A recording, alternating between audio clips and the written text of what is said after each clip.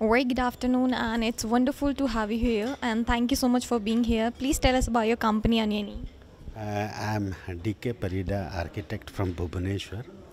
Uh, in fact, we have been operating in Bhubaneswar for last 27 years. We are working almost in about six to seven states, seven states precisely: Odisha, Bihar, uh, Chhattisgarh, Jharkhand, Delhi, NCR, and then in Maharashtra.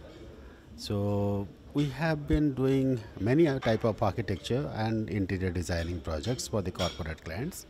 But our real success has been, our satisfactions has been, when the we have our design has been been used for upliftment of the social causes. That is the, for the educations of the tribals, for the you know women and child welfare department, for health and educations and uh, to inform you we have done almost four major universities in odisha and Wonderful. Thank you so much. And how do you feel to get this prominent? oh it's wonderful being uh, here in delhi and i must uh, thanks this uh, merit uh, research market research for choosing us for the i mean to be the awardee and it is always uh, a great uh, pleasure to receive the award from the same fraternity, especially Madam Sunita Kohli and Kukreja.